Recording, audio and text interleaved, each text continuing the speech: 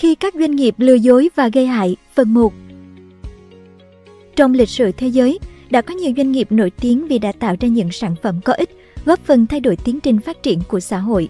Nhưng ngược lại, cũng có những doanh nghiệp kiếm lời từ sự thiếu hiểu biết của người tiêu dùng, gian lận tài chính hoặc là gây hại cho sức khỏe của người dân. Trong video phần 1 này, chúng ta hãy cùng điểm qua 4 tập đoàn tiêu biểu trên thế giới đã lừa dối hoặc gây ra những ảnh hưởng tiêu cực đến sức khỏe người tiêu dùng, nền kinh tế và toàn xã hội. Nếu yêu thích video này, bạn hãy tải ứng dụng sách tin gọn để ủng hộ nhóm nhé. Cảm ơn bạn rất nhiều. Philip Morris và R.J. Reynolds Từ giữa những năm 1950 đến những năm 1990, các công ty thuốc lá lớn ở Mỹ như Philip Morris và R.J. Reynolds, còn được gọi là Big Tobacco, đã tiến hành một chiến dịch thông tin sai lệch quy mô lớn để che giấu sự thật về mối nguy hại của việc hút thuốc lá đối với sức khỏe. Cụ thể, mặc dù các nghiên cứu khoa học đã chứng minh rằng hút thuốc lá gây ra ung thư, bệnh tim mạch và nhiều vấn đề sức khỏe nghiêm trọng khác, các công ty thuốc lá vẫn cố ý phủ nhận và khẳng định không có đủ bằng chứng khoa học chứng minh hút thuốc lá có hại. Theo các tài liệu nội bộ, chiến lược của các công ty này là tạo ra sự hoài nghi trong công chúng đối với các phát hiện khoa học, thậm chí khi chúng đã rất rõ ràng. Họ làm điều này bằng cách giả vờ quan tâm đến khái niệm khoa học chính xác, chuyển hướng cuộc tranh luận khỏi nguy cơ của thuốc lá sang việc chỉ trích những thiếu sót trong nghiên cứu khoa học. Đồng thời, họ còn bí mật tài trợ và tạo ra các tổ chức vỏ bọc để lặp lại quan điểm của mình, tài trợ nghiên cứu sai lệch và vận động hành lang chính trị nhằm phản đối các chính sách y tế công cộng có thể ảnh hưởng đến lợi nhuận của họ. Những nỗ lực đó đã giúp các công ty thuốc lá tránh được sự giám sát và quản lý của chính phủ đối với những sản phẩm thuốc lá trong nhiều thập kỷ, gây thiệt hại nghiêm trọng về nhân mạng cho người dân nước Mỹ. Cuối cùng, vào những năm 1990, các công ty này đã phải đối mặt với vụ kiện của 46 bang đòi bồi thường chi phí y tế do các bệnh liên quan đến thuốc lá gây ra. Union Carbide và Dow Chemical vào đêm ngày 2 rạng sáng ngày 3 tháng 12 năm 1984, một thảm họa kinh hoàng đã xảy ra tại nhà máy sản xuất thuốc trừ sâu ở Poban, Ấn Độ do công ty con của tập đoàn hóa chất Mỹ Union Carbide quản lý. Khoảng 45 tấn khí methane isocyanate cực độc đã rò rỉ và lan tràn trên khắp thành phố. Thảm họa này đã ngay lập tức cướp đi sinh mạng của gần 4.000 người và khiến hàng ngàn người khác hoảng loạn tìm cách thoát thân. Ước tính có tổng cộng 15.000 đến 20.000 người thiệt mạng và khoảng nửa triệu người khác bị thương hoặc mắc các bệnh nguy hiểm mạng tính do tiếp xúc với khí độc như suy hô hấp, mù loà, ung thư, tổn thương não bộ, vấn đề về sinh sản dị tật bẩm sinh ở trẻ do cha mẹ tiếp xúc với chất độc. Các cuộc điều tra cho thấy nhà máy thiếu nhân lực và không duy trì hệ thống an toàn, dẫn đến thảm họa. Ban đầu Union Carbide đã tìm cách trốn tránh trách nhiệm và đổ lỗi cho một nhóm người siết giả mạo. Năm 1989, công ty nhận trách nhiệm đạo đức và bồi thường 470 triệu đô la Mỹ cho nạn nhân, một số tiền rất nhỏ so với mức độ thiệt hại mà nó gây ra. Tại Ấn Độ, giám đốc điều hành Union Carbide Warren Anderson và công ty bị buộc tội ngộ sát, nhưng Mỹ từ chối yêu cầu dẫn độ. Anderson qua đời ở tuổi 92. Sau thảm họa Bhopal, Union Carbide đã bỏ hoang nhà máy nhưng để lại một lượng lớn chất thải độc hại đã tích tụ từ đầu những năm 1970. Chất thải này đã gây ô nhiễm nguồn nước ngầm nghiêm trọng gần nhà máy, nơi hàng chục nghìn người dân sử dụng làm nước sinh hoạt. Union Carbide biết về tình trạng ô nhiễm từ năm 1989 nhưng đã che giấu kết quả các bài kiểm tra. Đến năm 2001, Dow Chemical mua lại Union Carbide và theo lý thuyết đã thừa kế trách nhiệm pháp lý của Union Carbide. Tuy nhiên, Dow đã từ chối chịu trách nhiệm dọn dẹp ô nhiễm tại Bhopal hay là bồi thường cho những người bị ảnh hưởng bởi nguồn nước bị nhiễm độc. Điều này dẫn đến tình huống phức tạp khi nạn nhân thảm họa vẫn phải đối mặt với hậu quả lâu dài mà không nhận được sự hỗ trợ cần thiết. Andron và Arthur Anderson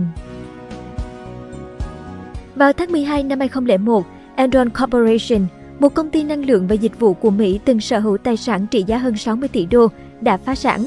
Nguyên nhân là do bị bại lộ những hành vi gian lận kế toán quy mô lớn kéo dài nhiều năm nhằm che giấu tình hình tài chính tệ hại của công ty với các nhà đầu tư và cơ quan quản lý. Hành vi gian lận này được thực hiện với sự hợp tác của Arthur Anderson, một trong năm công ty kiểm toán lớn nhất nước Mỹ và cũng là đơn vị kiểm toán cho Enron. Vụ phá sản của Enron là một trong những vụ lớn nhất lịch sử Hoa Kỳ, gây thiệt hại hàng tỷ đô cho các nhà đầu tư và nhân viên. Hậu quả tiếp theo là sự sụp đổ của công ty Arthur Anderson do bị kết tội cản trở công lý khi tiêu hủy tài liệu liên quan đến Enron. Nhiều giám đốc điều hành cấp cao của Enron, bao gồm chủ tịch và giám đốc tài chính đã phải ngồi tù. Một điểm sáng từ vụ án này là sự ra đời của đạo luật Sarbanes-Oxley năm 2002 nhằm ngăn chặn gian lận kế toán trong các công ty. Exxon Từ những năm 1960, các nhà khoa học làm việc cho Exxon, nay là Exxon Mobil Corporation, đã cảnh báo công ty về thực trạng và những nguy cơ của hiện tượng nóng lên toàn cầu và biến đổi khí hậu. Họ chỉ ra rằng những vấn đề này chủ yếu đến từ việc phát thải khí carbon dioxide và các khí nhà kính khác ra bầu khí quyển trong quá trình đốt cháy nhiên liệu hóa thạch. Ít nhất từ những năm 1980, ban lãnh đạo Exxon đã nhận thức được vấn đề. Tuy nhiên vào cuối những năm 1980, Exxon cùng Viện Dầu khí Hoa Kỳ, một nhóm vận động hành lang của ngành dầu mỏ và các tập đoàn khác đã thành lập Liên minh khí hậu toàn cầu nhằm thay đổi quan điểm của công chúng và chính phủ, phủ nhận sự tồn tại hoặc tác động của con người đối với sự nóng lên toàn cầu. Điều này tạo ra mâu thuẫn lớn giữa những phát hiện của các nhà khoa học Exxon và thông điệp mà Exxon cùng các nhóm vận động hành lang của ngành truyền tải ra công chúng. Ban đầu, quan điểm của Exxon về biến đổi khí hậu vấp phải nhiều hoài nghi và càng trở nên không thuyết phục khi các nghiên cứu khoa học về vấn đề này gia tăng trong những năm 1990. Đặc biệt sau khi Nghị định thư Kyoto được thông qua vào năm 1997, thỏa thuận quốc tế yêu cầu 41 nước và EU giảm phát thải khí nhà kính, quan điểm của Exxon càng trở nên lạc lõng. Trước bằng chứng khoa học ngày càng rõ ràng và nhu cầu hành động toàn cầu, một số công ty dầu mỏ đã rút khỏi Liên minh khí hậu toàn cầu, dẫn đến việc giải thể tổ chức này năm 2002. Ngược lại, Exxon quyết định đi theo chiến lược tương tự Big Tobacco trong việc phủ nhận biến đổi khí hậu.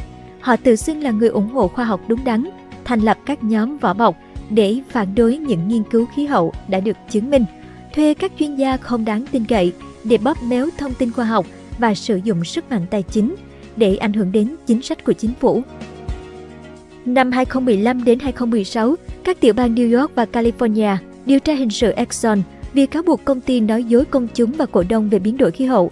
Dù Exxon đã thắng một vụ kiện dân sự ở New York năm 2019, các vấn đề về tính chính xác trong thông tin của họ vẫn còn gây tranh cãi.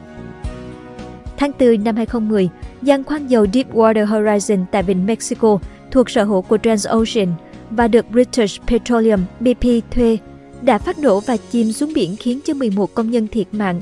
Trong những tháng tiếp theo, dầu thô phun trào khỏi giếng khoan với lượng khổng lồ, ước tính khoảng vài nghìn thùng mỗi ngày, tổng cộng ít nhất là 3 triệu thùng. Vụ tràn dầu tạo ra vết dầu khổng lồ có diện tích hàng ngàn dặm vuông trên biển, gây ô nhiễm nhiều bãi biển xung quanh vịnh Mexico và làm chết hàng trăm ngàn sinh vật biển như chim, động vật có vú, rùa và nhiều loài hoang dã khác. Báo cáo chính phủ năm 2010 và 2011 kết luận BP chịu trách nhiệm chính do chủ quan và tập trung cắt giảm chi phí, khiến nhân viên bỏ qua những dấu hiệu cảnh báo sớm. Sau khi bị kiện, BP đã nhận tội 14 cáo buộc hình sự, bị phạt 4,5 tỷ đô la Mỹ và đối mặt nhiều vụ kiện dân sự, dẫn đến bồi thường 20,8 tỷ đô. Mặc dù bốn cá nhân bị truy tố nhưng không ai phải ngồi tù. Cảm ơn bạn đã xem video trên kênh Người Thành Công. Đừng quên nhấn nút đăng ký bên dưới để ủng hộ nhóm nhé!